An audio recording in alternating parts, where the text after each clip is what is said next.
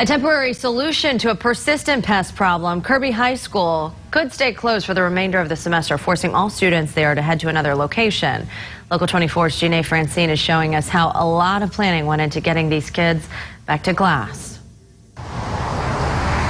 McKaylen Kirby Middle is one of the temporary locations for Kirby High School students this morning. 11th and 12th graders will be at this location, while 9th and 10th graders will be at Du Bois Middle School. I'm told for those special education students, they will be at Southwind High School this morning. Now, with these schools being in different areas, transportation will be provided to all students who need it.